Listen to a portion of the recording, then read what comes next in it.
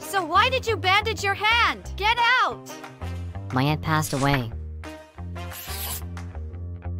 That is so sad to hear.